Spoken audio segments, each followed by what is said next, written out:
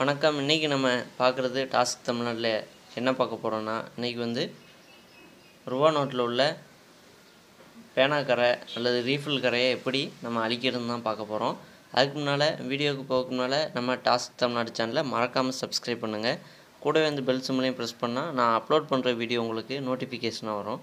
Okay இதுக்கு நமக்கு என்னென்ன தேவைன்னா இந்த கேனில் காட்டுற தின்னர். அது தண்ணி நினச்சிடாங்க தின்னரு. அது வந்து பெயிண்ட் கடையில் கட்டால் கிடைக்கும். அந்த திணறை வந்து பாத்திரத்தில் ஊற்றி வச்சுக்கோங்க. நல்லா அகன்ற பாத்திரத்தில். அதை ஊற்றிட்டு அதில் வந்து ரூபாக்கரை உள்ள அந்த நோட்டை பேனாக்கரை உள்ள அந்த நோட்டை எடுத்து அதில் போட்டு அமுழ்த்துங்க. அப்படி முங்கையிலே வந்து உங்களுக்கு தெரியும். அந்த இங்க்கு ரீஃபில் இங்காக இருந்தாலும் சரி பின்ன மைப்பேனாக்குள்ளே இங்காக இருந்தாலும் சரி அது வந்து தானாக அப்படியே உறிஞ்சி அ- அழிய ஆரம்பிக்கும்.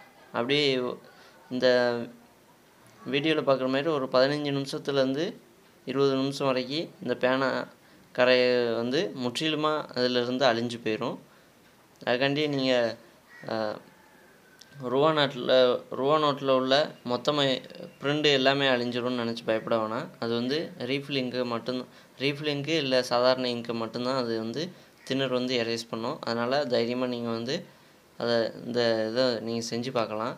இப்போது கொஞ்சம் அழிஞ்சிருச்சு.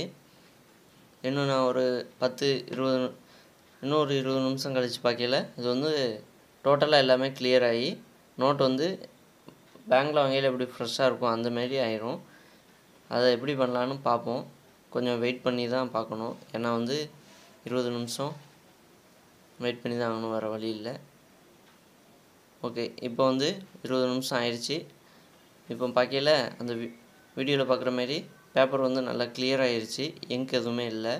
இது வந்து இன்னும் ஒரு சில வே வேலைகள் இருக்குது அது என்னென்னு பார்த்தோம்னா இதை வந்து வளர்த்தணும். இதை வளர்த்ததுக்கு வந்து ட்ரை பிளேஸில் வைக்கலாம். அதை விட்டுட்டு ஈஸியாக வந்து வளர்த்தணும்னு சொல்லிட்டு யாரும் அயன் பாக்ஸ் வச்சு தேய்ச்சிறாங்க. தயவு செஞ்சு அது கண்டிப்பாக தீ பிடிச்சிரும். ஏன்னா வந்து திணறு வந்து தீ பிடிக்கக்கூடிய தன்மை கொண்டது. அதனால் சேஃபாக ஹேண்டில் பண்ணுங்கள் இப்போ நம்ம எப்படி வளர்த்தலான்னு பார்க்கலாம். நான் வந்து இதை வந்து சாதாரண காற்றுல காட்டினாலே போதும். வளர்ந்துடும் இல்லாட்டினா நான் அதில் காற்றுல காட்டுறேன். நீங்கள் வந்து இதை வெயில் உள்ள இடத்துல வச்சாலும் போதும். அது வளர்ந்துரும் ஏன்னா வந்து திண்ணர் வந்து எளிதில் தீயும் பிடிக்கும். எளிதில் காயவும் செய்யும். ரெண்டு தன்மையும் கொண்டிருக்கு. அதனால் இது வெயிலில் வச்சாலும் சரி இல்லை காற்றுல வளர்த்துனாலும் சரி சீக்கிரம் அது வந்து இயல்பு நிலைக்கு உடனே வந்துடும் இந்த வீடியோ படி பண்ணி பாருங்கள் ரொம்ப யூஸ்ஃபுல்லான வீடியோன்னு நான் நம்புகிறேன் ஏன்னா இப்போ வந்திருக்க ஐநூறுரூவா ரெண்டாயிரரூவா தள்ளலாம். ஒயிட்டு பேஜ் வந்து நிறைய மிடில்லையும் இருக்குது சைட்லேயும் இருக்குது அதனால் அதில் வந்து தெரியாமல் அந்த இங்க் பேனா பட்டுரும். அப்போ அந்த இங்க் பேனாவோ ரீஃபில் பேனாவோ பாக்கெட்டில் வச்சுருக்கிறது ஒலிக்கு அதில் பட்டுறையில் அதை வந்து வாங்க மாட்டீங்க அதுக்கு என்ன பண்ணணும்னு வருத்தப்படுவீங்க. அதுக்கு இந்த வீடியோ யூஸ்ஃபுல்லாக இருக்கும். தேங்க்யூ ஓகே தேங்க்யூ ஃபார் வாட்சிங்